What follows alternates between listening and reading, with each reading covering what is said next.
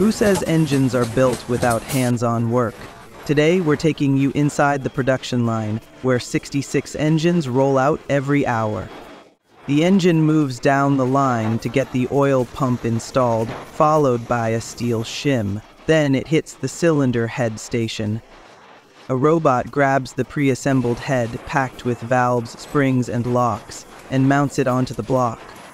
Next stop, a new line where the rocker arms go in. They're small, but they do a lot. Right after that, it's time for the heavyweight, the camshaft. For 1.5 liter turbo engines, Hyundai uses CVVD tech. That's continuously variable valve duration, and yep, that's what you're looking at. Once the camshaft's in, the timing system gets installed. The camshaft and crankshaft are linked with a timing chain to stay in sync. Then the front cover goes on, sealed with two types of adhesive. A torque tool locks everything down.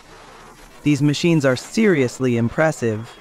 Now the engine flips over so they can mount the oil pan. Fun fact, this one takes 19 bolts. Solid setup. Then come the sensors, including the crankshaft position sensor. After that, the spark plugs, fuel rail, and ignition coils drop in. Next, they add something you probably haven't seen before a test flywheel. It's just for cold testing, then swapped out for the real one. Once the flywheel's on, they add engine oil. Cold test comes next. After that, the engine heads to the final station where the real pros take over.